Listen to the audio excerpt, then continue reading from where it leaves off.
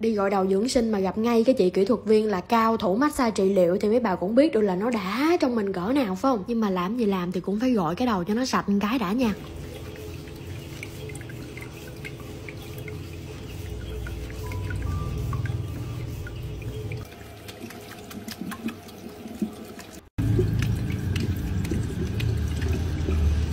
Tới khi mà đắp mặt nạ thì tôi chọn cái loại mà nó có cánh hoa hồng trong đây nè, nhìn cho nó điệu một chút chứ không gì hết trơn á bôi dầu xả lên, massage một chút xíu, xong rồi sẽ tới một cái bước gọi là giải lược dưỡng sinh, giúp cho lưu thông máu ở trên da đầu. Giờ ở đâu cũng có cái vụ massage tay hết trơn á, nhưng mà cái chị này giật cái ngón tay đúng đã luôn.